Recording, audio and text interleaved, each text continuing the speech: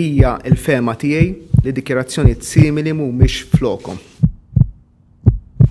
u m'għandhomx isiru għaliex jimminaw kolonna importanti tad-demokrazija ta' pajjiżna. Kap tal-Oppożizzjoni Joseph Muscat f'konferenza tal-aħbarijiet li sejjaħ b'urġenza esprima nuqqas ta' fiduċja f'Manxe.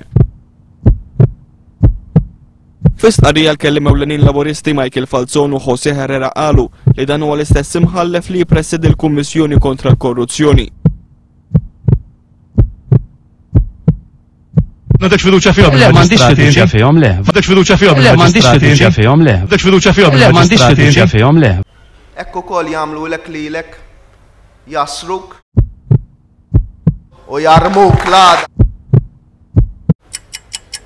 Għaddit il-ġurnata illi kellhom bżonnu ramewh. Fem il-weġa ta' Dr. Farrugia li huwa dejjem miftuħ u nemmen illi l-affarijiet dejjem jistgħu jitranġaw.